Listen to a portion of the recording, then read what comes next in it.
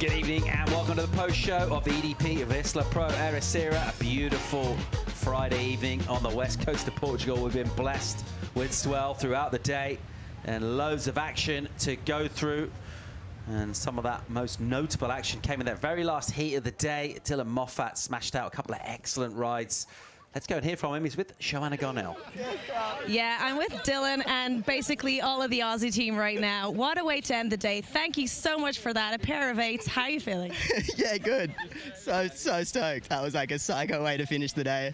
That was like the reason surfing's like the funnest thing in the world and to come into this crew. like everyone's been sitting in the sun scorching themselves all day, so everyone's a bit loony bins, but it's pretty, it's pretty sick. and we had a chat with Ryan just before your heat and I was asking what if you could choose one of the guys in the in the water, who would you choose? And he chose you. So, how happy are, are you about going into the quarterfinals against Ryan Callahan? Yeah, it's sick. So stoked. I was like, when um the end of that last heat finished and Ryan Ryan won his heat, I was screaming at him. I was like, yeah, Ryan. he was screaming back at me like, good luck. So to have a couple Aussies this deep in the draw is, is pretty unreal, and I hope we can we can go all the way. And what's this crew going to do now? Just go home, probably sit down, take it easy. I reckon you know, nice, nice quiet night probably. Oh yeah, I can bet. Back to you guys. Thanks, heaps. Cheers. Squad goals there. The upside down Sunny's crew, Ben. It's what the little mean? things. Those guys. It's the little guys. things. It's the little props that Guys. work. Just you know, they are. Yeah, and I talk about talk about rankings. That Moffat, he's scorching up the ratings. Oh, He's so good. and he's uh, he's looking on, on track to become CT material. It's been some ups and downs today, Paulie, and uh, a lot of big movers and shakers. Bean counters have been doing their work. Let's take a look at those updated rankings. They're live, so they're taking into account results from the day to day. Let's have a look here and see exactly where we're at. This is the men, and you can see the cut line there. The reason it's on 11 is, well, we'll take 10 surfers normally out of the seat. I'm not actually sure why it's on 11, but we'll come and we'll, we'll think of that. And, but let's have a look who's moved, Ben, who hasn't. Yeah, well, Ian Gentile was the biggest mover, I would say. I mean, he was well out. He didn't have, you know, a whole lot. He was uh, 19 or 20 starting the event. He's up to nine, which is in the cut. Maxim Houston, well, he's out. Liam O'Brien still surf tomorrow. Emrod, Michael Rodrigues, he was so stoked about his win today, and there's a reason for that. He's also got up to six. So there's been some moves. that, you know, Rio Waida, well, he's already through. Leo's in, Ryan's in, Moffat's in, Rod O'Brien. So there's so many big names. The only probably one that we've got to look at there in terms of losing out was uh, Ethan Osborne today in, in 10th. He's, uh, he'll, be, he'll, he'll be shaky now. And Zeke also. Yeah, Zeke lost in the first round. Exactly. So, yeah, the big movers I would say would be Gentile and uh, Rodrigues um, coming from a bit of a low base. Just looking outside the cut, Jacob Wilcox. Cibilic as well. So Morg's had a good win today. He's had some massive hammer times. And um, so those 10 spots are huge, you know. You can start, it's, it's one of those guys that haven't had a good results or you know, you've got the Cannings 700 points and they've had a big result. Ben, your So- Aussie mates are going all right. yeah, yeah, there's pretty stacked in that CT event there. The upside down glasses crew, something's been working for them, and um, yeah, they you know they got a squad and they're, they're on fire. Okay, let's take a look at the women's rankings. We've decided our quarter finalists here, so we're a little deeper with that event in terms of knowing who's going to be in the quarterfinals, all eight of them. Here are the live rankings. Picklum still on top. Of course, Simmers, Johnson, Callahan still alive. Nikki Van Dijk bowed out though. Yeah, she got an amazing heat with um, yeah, Sawyer Lindblad. We might get a, a chance to look at that one of the heats of the day for me. So yeah, she was in fifth. She's hanging on to it for now, but some of those ones down there, Sophie McCulloch, I mean, Teresa, we lost unfortunately. Bronte Macaulay, she's already out. Uh, Zoe McDougall, who came in the booth and had a chat to us. Um, and Luana Silva's another loss, but Rahim Fierro is still in. So there's some sort of hangers a bit lower down, but those top four are looking really solid. Huh? Sawyer Lindblad and Ryan Piero next to each other there. Those two with a lot of momentum. Sarah Baum as well, surfing really, really well. It's going to be crucial to see who can go, not only just make quarters, but essentially go on for the win. But another big mover, Yolanda Hopkins in 20 places. Unfortunately, she bowed out today, but she's she's on a march here with two events to go. We know all about what she can do. Yeah, she, um, you know what, she'll be disappointed with losing out today against Macy Callahan, but what a great surfer. And she's jumped up. She's given herself a shot with two events to go. So, yeah, Hopkins, um, yeah, it's good to see her. She would be happy with her results over the course of the week. Should we talk about some top five moments of the day? Yes, Oh, please. yeah. Sound fun? Yeah. Let's have a look at our fifth moment of the day. A massive day of competition. Big swell out there as well. A lots of things to unpick. It was a pretty eventful one. Let's roll our fifth moment of the day. And of course, this guy, well, he qualified. He made history. He's the first Indonesian surfer to go onto the championship tour, but he's eliminated Rio Waida. Yeah, actually, uh, it, it was this was I, I was here Copenhagen, and uh, this was a pretty weird heat. Uh, there was not too many opportunities, and we just saw some uh, nice um, waves by all the three surfers. Unfortunately, uh, Rio Waida got eliminated on the last wave of this heat. As we see him, Liam O'Brien just absolutely surfing. He- He's he's surfing just. Uh, it gets really good on this wave, as you see. Rio, a couple of fours, if I remember. Yeah, Ben. Yeah, well, I saw Rio leaving the event site, and he was furious. I mean, this is a guy that's just qualified for CT, but he doesn't like losing. I mean, none of them do, obviously. But you know what? I think he's he's got something special in terms of competitive drive. I mean, he's a great surfer. Look at this stuff, but just by the, his reactions to the way qualified and then got knocked out today, it, means a lot to him. He's going to be really dangerous with that attitude and that talent. Yeah, it feels like he's he's not comfortable. He, he, he- he's not on a comfortable zone. Definitely, he just he knows he's qualified, but he wants to win the Challenger Series. He wants to be the Challenger Series champion, and he wants to keep on going on events. And yeah, I saw him too. He was pretty. He was he was pretty not unhappy with that one. as you see here. This was, I think, this is like uh, it was a bit of a buzzer beater, and, and we actually knew the score right on the right on the sand. And uh, Crosby needed a, a small four, and he ended up uh, or a high three. I don't remember, but he, ended up just getting uh, the highest enough score for getting through. Yeah, and one. Crosby, he was like down in the 60th position on the Challenger Series, or we didn't have enough kind of TV screens to show where he's at before this event. But you know, he's got a bit of a high profile. He's turning that into some competitive um, results at this event. He's still got this round of 16 to surf, but if he gets through a couple of heats, he's going to rack, sort of rocket up those ratings as well. So Rio Waida eliminated from competition but qualified for the World Tour on moment number four. Caity Simmers took down the local hope Teresa Bonvalot. Teresa, it was a birthday today. And it was exactly a year to the day that she um, got knocked out at high on high tide last year and ended up on the rocks. So, you know, she put up a good fight, but Caity Simmers has just got that in her locker. She's, I mean, that's one of the biggest waves we've seen up to this point. She can always come up with some surprising turns. She's got variety. She's got some flair and some style. And T- Teresa, she's still right in the mix, but unfortunately she just didn't have quite the firepower to take out the world. Well, currently number two now on the on the uh, Challenger Series rankings. Left-handers, bit unusual to see that. She Oh, surfed yeah. it well. Her forehand's such a good style on her forehand, but didn't have the firepower for, for Simmers when she's on fire. She, she made it. Uh, some, I was down there with their coach and her family and all that stuff, and, and uh, she she did uh, um, a few a few mistakes. Uh, she fell off on a really good wave on the right on the takeoff, and and both actually both of them got really really deep.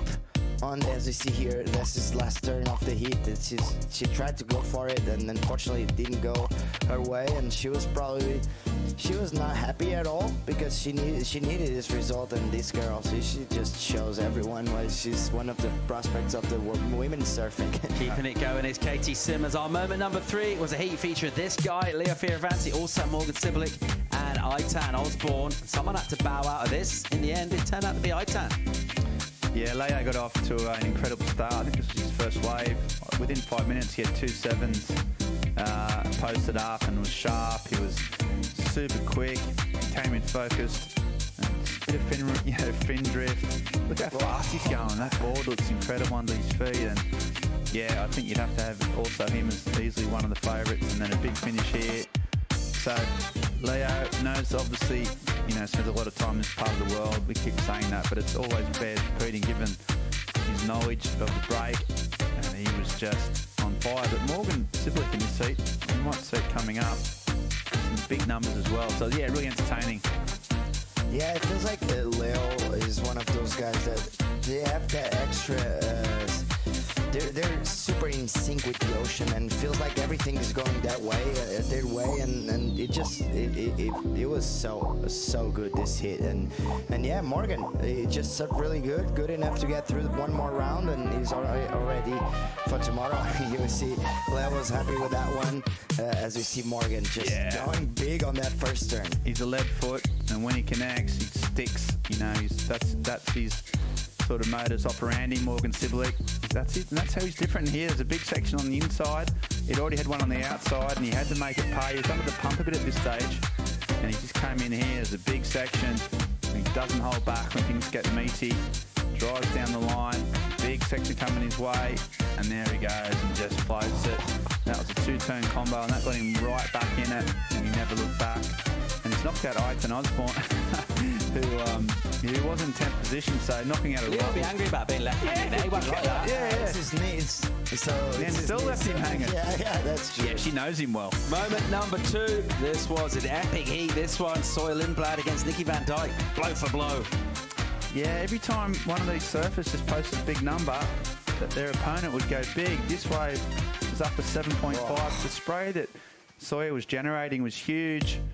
And then each time, you know, you think, okay, the next surfer would come back. Nikki would come back with some incredible scores. You think, okay, Sawyer's under the pump. And then she'd respond with even bigger numbers. So I'm pretty sure, I'll have to go through the maths, but I'm pretty sure Nikki Van Dijk probably had the, the, you know, the highest heat total for a loser today.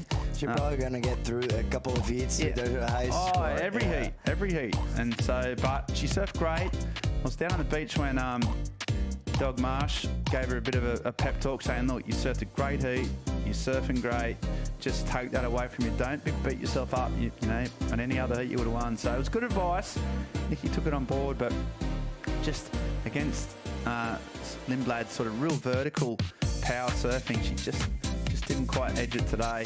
But yeah, it was a, it was one of the best sort of heats in terms of numbers from both of them. Just goes down the hole there, and then Sawyer under the pump here. I think she needed a score. And she was getting the right wave and just slashing and turning, and those hammer blows on her backside. Nice steep wave there. There's another one. I think she gets another two in here. So, yeah, I like the look of this young lady. Didn't falter under pressure, and then went big when she had to. Yeah, as you see here, just going big. And that's the thing about Ribeira. You have to take advantage of those uh, steep sections. That was a really good finishing turn. They're both happy, as you can see. And uh, even though Nikki wanted to go a bit further, unfortunately, it was uh, Sawyer. A late entry straight in at number one. Dylan Moffat smashing out a pair of eights. Yeah, wow, is he? You know, a lot of people might not have seen this guy surf, Philippe. I tell you what, you better get used to it because he's got it all. He's really competitive, smart, and, but every now and again he'll just do something wild that shows you how good he is. Oh, this wave was absolutely surfed to perfection. Yeah, at every single turn on the on the on the Bible of turns. That's true. As you see here, just look at this finishing turn. Wham! That's after doing uh, um, some big scores on the outside, uh, big turns on the outside. Helen, uh, I think he actually surfed really, really well.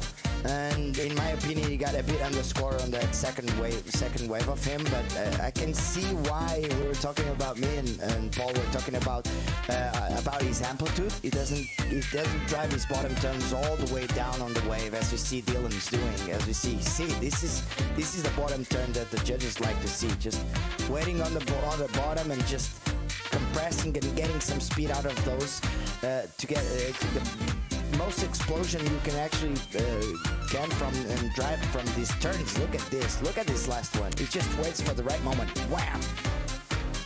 Yeah, So good. super strong Moffat, and he's looking strong, inching his way up in the rankings. And great. So imagine, Paul, you come in, you've had two amazing waves, and you've got 10 of your best mates clapping and cheering you, and you're sort of on the verge of CT qualification. You, you wonder why he's happy. Yeah, bringing in that great energy, all of that form into tomorrow, Saturday. Uh, we'll see exactly what we're going to run in the morning, but we'll, we'll have an early call again. Before we get into that, though, we do need to check out the EDP wave of the day and a massive number, highest one of the event so far from one of the outstanding surfers on the Challenger Series. Bettylou Sakura Johnson, the EDP wave of the day, a nine-point ride, and I reckon about nine of those points all came on the very last section of the wave. We've been talking about hard, how hard it is to hit. Look how hard she hits it. Oh yeah, she just goes for it, and she did actually did some a nice couple of turns on the outside. But I think this, and this is on the part of the day that the waves were kind of weird, and that's where this turn, just wait for it. it it's totally worth it. As she's wait, she's waiting for the wave to stand up and check this out. Foam mode all over the place. She just loses her balance, but at the same time, it's pretty controlled. It was really amazing. Shreddy lose. Tell you what, foam to the face. There was all sorts of turbulence. She got in the first couple of minutes of that as well. So yeah, she's amazing. looking gnarly. She's uh, such a great competitor. and She's got that in the locker. So Fun day, guys. Real quick, brief thought from today. The swell came up, performances came up. Are we happy with where things went? points went up, everything went up. We're getting through to the best servers in the event. Uh, the best, the, the informed servers are making their move. I can't wait for tomorrow. Billy, tomorrow's going to be fun. It's going to be just like today. Thank you.